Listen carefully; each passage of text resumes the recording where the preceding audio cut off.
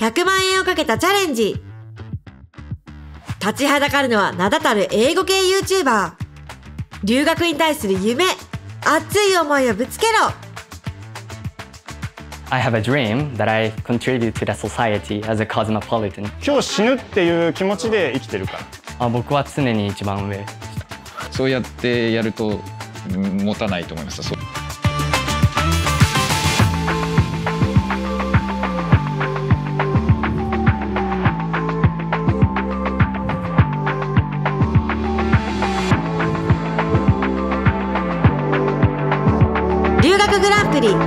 思いをぶつけて100万円ゲット主催の留学兄さん K です。この企画では皆さんに奨学金100万円を競っていただく企画です。今回総額400万円というお金を私が経営する留学アシスタント株式会社から皆さんの留学の夢を応援したいという思いで出させていただいています。この企画から世界で羽ばたくグローバル人材を見たいと純粋に思っております。はい、司会を務めさせていただくイーサンです。よろしくお願いします。お願いしますはい、では、えー世界に羽ばたける有望なチャレンジャーを紹介します。えー簡単なプロフィールを教えてください。お願いします。はい、えー名前は西村正史です。えー今22歳です。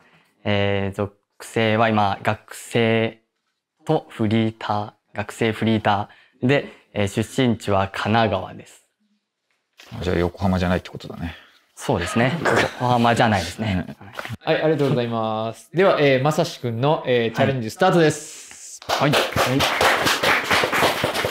えーそれではですね、えー1分間の自己、英語自己紹介していた後に、えー日本語で審査員と、えーディスカッションしていただきます。Okay, so thank you so much for coming. Could you tell us your about your dream and then briefly introduce yourself? Okay. Um, I have a dream that I contribute to the society as a cosmopolitan. And uh, um, first, I'd like to thank you because I have a, a wonderful opportunity to introduce my story and a dream in front of well-known like a YouTubers. And my heart is gonna be actually Peter Potter. And uh, um, Okay, I'm gonna introduce myself briefly. I'm Masashi Nishimura and I'm 22 years old right now.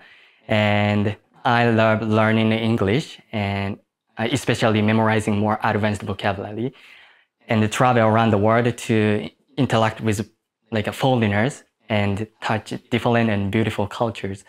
And furthermore, I'm a fan of um, outdoor activities such as um, camping, uh, climbing mountains, fishing, as well as hiking, because I'm an Eagle Scout. And you've already watched and read my short movie and essay. As you know, um, I'm an exceedingly perseverant person and hard worker. So you must be tired, but I hope you can enjoy my interview. Thank you. はい、ありがとうございます。ではですね、えーディスカッションに入ります。はい。緊張してますか？あ今緊張しましたけど、もう大丈夫です。大丈夫ですか？ありがとうございます。はい。今の英語力ってどうやって身につけたんですか？ね上手ですよね。うん、上手でした。めちゃめちえっと、学生時代、ひたすら勉強しました。もう、勉強です。あの、ゃ海外に行ったとこはないんですか？海外、旅行はありますけど、あり、あるんですけども、あの、留学とかはないです。あ、そうなんですね。英会話とか。英会話は、えっと、最近ちょっと使い始めたぐらい。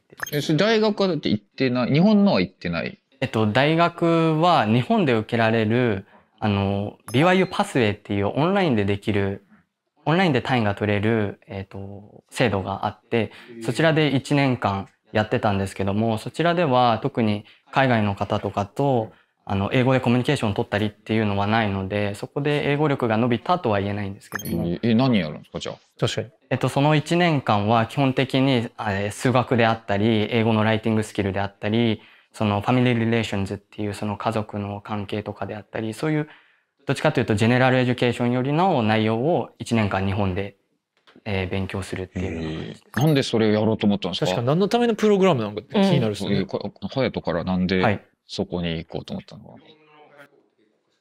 い、や幅が広いよねできそうです。幅が広いです。で、上の方なんですか？あ僕は常に一番上でした。かっこいいあーすごいな常に。常に一常番上。いや、もう僕は常に一番上です。もう負けず嫌い。いやいやいやいやまあでも隼人の一番上だから 厳しいそれにね。対しては何も言えないです。あで、その、まあ、パスエを受けようと思ったのは、これ僕自身の問題と、まあ、家族の問題があったんですけども、えー書いてある通り、僕5年近くずっとうつ病だったんですね。で、それで、えっ、と、19歳になって大学に行こうと思った時に、その時もまあ多少うつであったんですけども、その、なんとか大学に行こうとは思っていたんですね。でもそこでちょっと母も亡くしてっていうので、その経済的にも精神的にもちょっと自分は無理だっていうふうに、まあ父親の方からも言われて、でも僕は教育えっと教育の重要性っていうのをすごい理解していたので、絶対にここで折れ、折れられないなって思って、なんとかして、あの、クレジットをいくつか取りながら、あの、学び続けることは、あ学び続けようって決心したんですね。で、そこで探した時に、その BYU パスイっていうオンラインのプログラムで、かつ自分が稼いだアルバイトの中から受けられる教育だったので、自分で全て管理できる、あの、システムだったので、僕はここでアプライをして、1年間、なんとか、まあ、自分の病状もあったんですけども、それも考慮しながら、なんとか1年間続けたっていう感じです。えーえーじゃあこれ、すごいうん。これクレディット単位は取れるけど、学位は取れないってことですか？学位は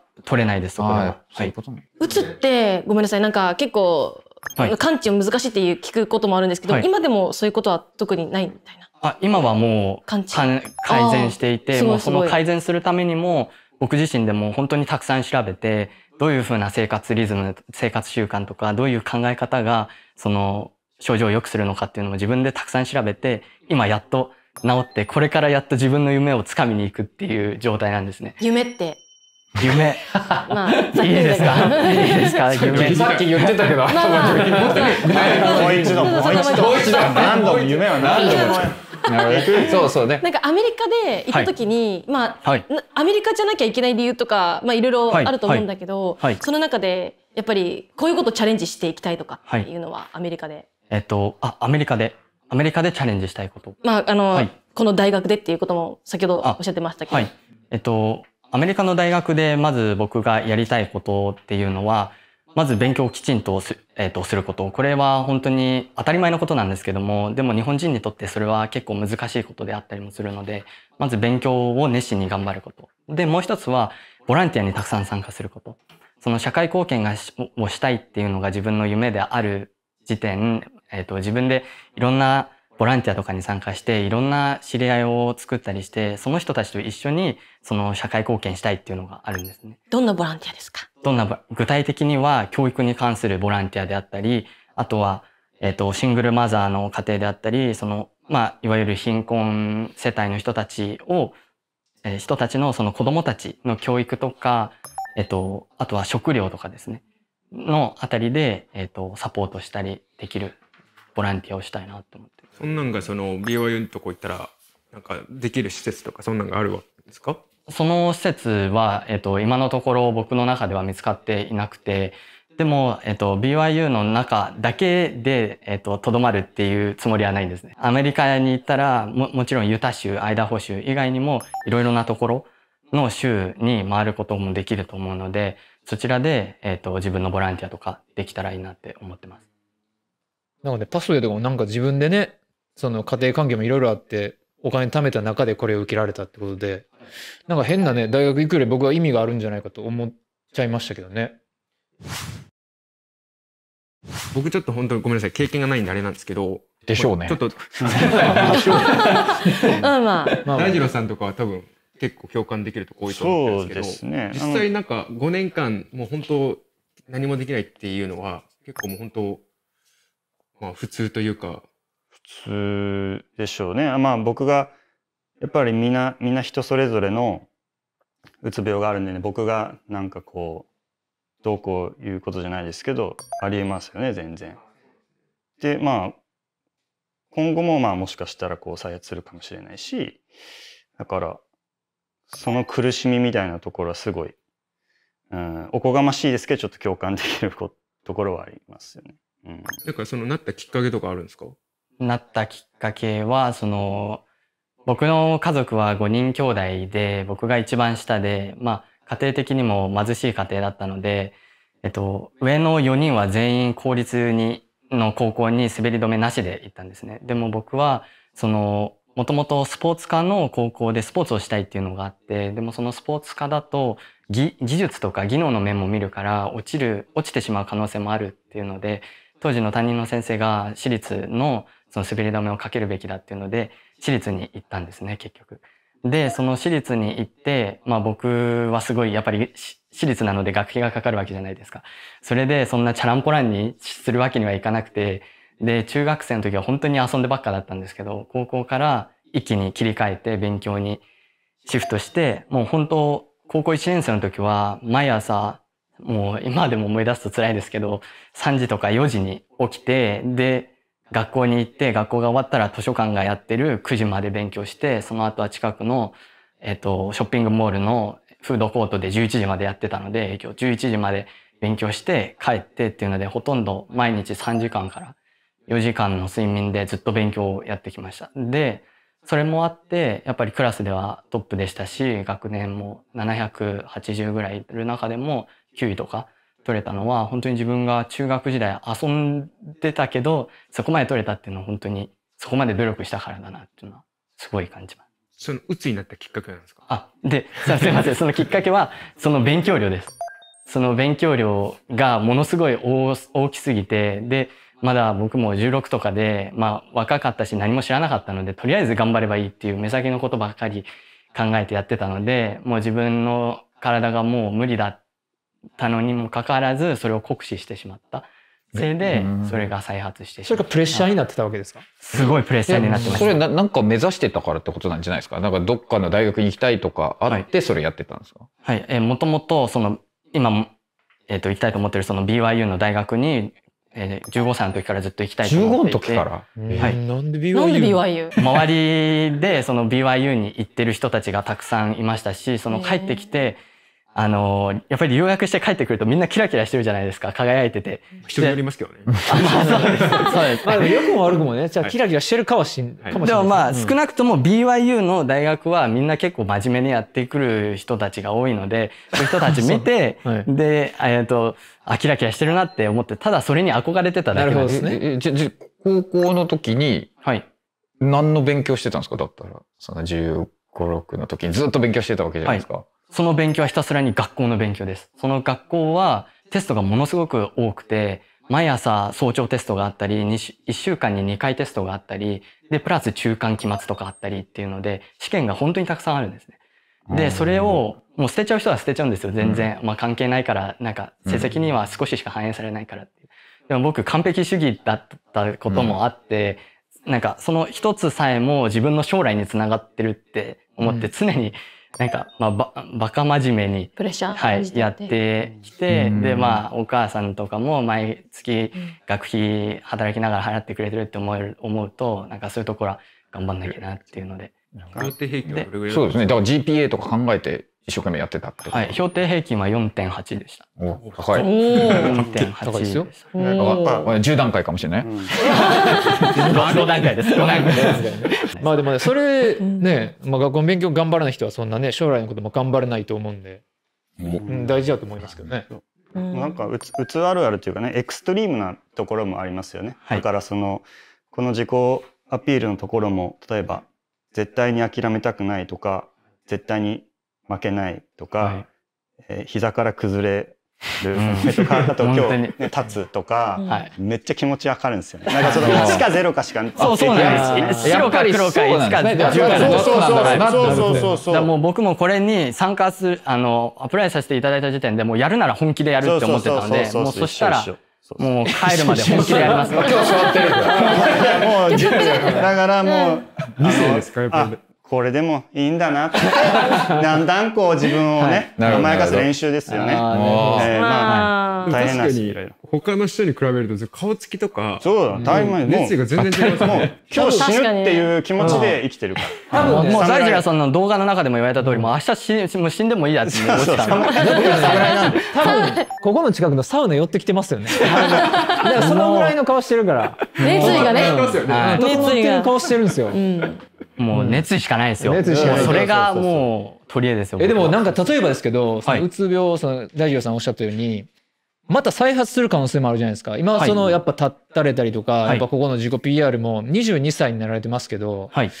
まあ昔は若かったと。まあはいそれは原因としてあると思うんですけど、はい。やっぱ根本的なとこはやっぱ変わってないような気もするんですね。さっき大丈夫さんのこと聞いてたら。はいうつ病になる人のやっぱ傾向にはまだあるんかなと思うんですけど、はい。はい。自分的にはもうならないと思いますか？あ、それはもう100%は言い切れないですけども、僕は基本的に病気だけじゃなくて、もうん全ての問題に対して表面的じゃなくて根本的に解決するのがうん好きというか、まあ、そっちの方が僕に合っていて、今回のこの渦の件ももちろん再発する可能性はあるんですけども、僕が先ほど言った通り、生活リズム、生活習慣を整えたっていう時点で、もうそこからかなり根本的に解決ができているようになったんですね。で、その生活習慣が極端に崩れない限り大丈夫だなっていうのを自分の経験で判断できましたし、逆にここまでやっちゃうとダメだなっていうのが分かったんですねそういうことですね。それが 16, 16歳の時のうつと、まあこれから先にな、か再発したとしても、えっ、と、こう対処できるところ。で、そこが16歳の自分とこれからなる自分の違いかなっていう、自分の限界を知って、そのために前もって、えっ、と、もう倒れないように、うんまあどこまでが自分の限度なのかっていうのを知ってるっていうのが、うん今大きいところかな。あの、今、オンラインサービスを、あの、作りたいって夢はい。のことをおっしゃってましたけれども、あの、なんか、留学がどういうふうにそのサービスが生きるのかっていう、なんかどういうサービスを具体的に作って、はい。どういう人たちに届けたいとか、で、逆に自分のその経験を生かして、なんか、形にしていきたいものとかって。はい。はい。えーあります。えーまず、留学をすることによって、その、まず日本人なりのその考え方ってあると思うんですね。なんか、こう、固執してしまうこととか、そういうのをまず払拭したいっていうのがあって、より物事を柔軟性に捉えることができる。で、また、その、留学して、また日本に戻ってきた時に、日本っていう国を、まあ、第三者の視点で客観的に見ることができる。っていうことと、いろんなバックグラウンドを持った人たちと関わることができるっていうのは、これから僕が国際人として、地球市民の一人として世界で活躍するにあたって、絶対必要なところなんですね。日本ではあまり宗教っていうのはないですけども、海外だと宗教はもう当然であって、いろんなバックグラウンド、カルチャーも違かったり、言語も違かったりっていうので、その違いを受け入れる。国際理解をするためには留学っていうのは絶対必須。で、特にこの日本っていう島国においては、もうそれは絶対絶対必要なもので、そういうふうにしていろんな国籍とか違うバックグラウンドを持った人たちと関わってお互いの意見を尊重して、まあ、なおかつ自分も日本人としての意見を強く持ってっていうところが、その将来、あの、世界で活躍するのに絶対に必要なところなので、留学はそういう面でものすごく役に立つなっていうのを思ってちょっと長いんで、もう少し短く教えてほしいんですけど、はい。さっき言ったその留学がその英語のサービス、はい。特にここに書いてあるオンラインサービスですよね。はい。作りたいって書いていますけど、はい。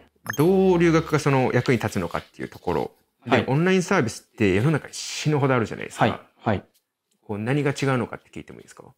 あ、何が、あ、他のオンラインサービスとサービス比べて化。してるポイントって何ですかはい。えー僕が考えている、計画しているオンラインサービスっていうのは、まずソーシャルビジネスっていうことです。基本的には、えっ、と、他のオンラインサービスっていうのは、その利益を目的にしたりしていて、まあもちろんソーシャルビジネスも利益を目的、利益は上げないといけないんですけども、他の企業とかオンラインサービスに比べると、その利益よりかはその社会貢献であったり、その地域とかの、その足りない部分を補うっていうような、えっ、と、サービス、会社なので、そういう点でまず他の、えっ、と、オンラインサービスとは違うっていうところ。結局それ、それじゃあわからないで、その、はいまあまあまあ、ちなみにまあ、そうやってやると、うん持たないと思います。そうやっていろんなのって立ち上げて、結局おはい金がなくて、潰れていったものをはい。たくさん見てきましたはい。ので、はい。えおそれオンラインサービスってなんかオンライン英会話みたいなやつですか？そういうえ？どはい。オンライン英会話と、あと、もう本当に英語をゼロから教えるようあな、ーその学校みたいな、えーいろいろえっ、と、オンラインうんの英語のサービスです。じゃあ、ちょっと突っ込みますよ、ここから。はい。えっ、とですね、ここにですね、これまで塾講師、家庭教師、小中学校の臨時講師、はい。高校のオンラインチューター、まあオンラインチューターはできますけど、高校の。これどうやってやったんですか？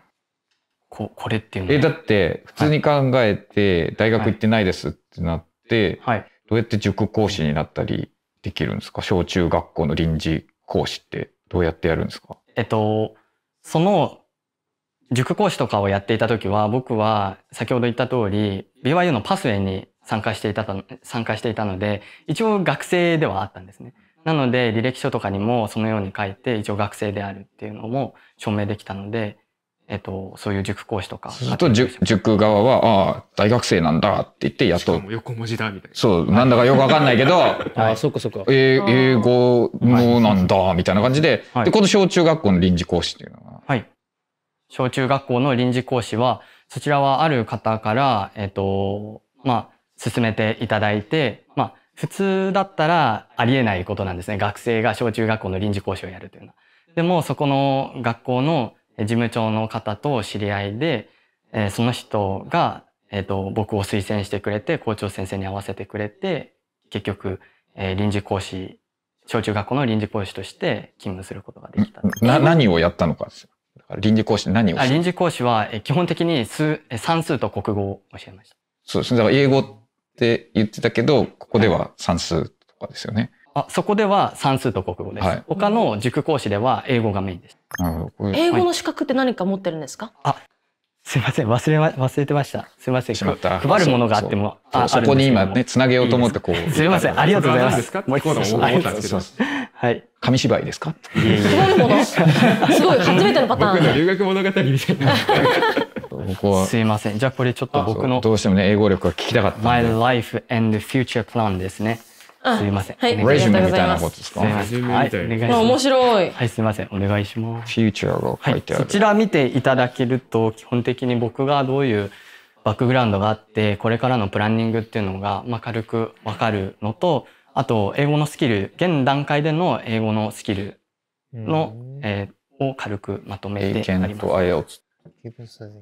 準1と6.5一緒の IELTS。はい。あでも、サーブスコアも高いですよね。一級を取る予定はないんですか？あ、ありますあ。来えー来年の1月に取る予定で、あ、書いてある。はい、取る予定です本。当だ未。来。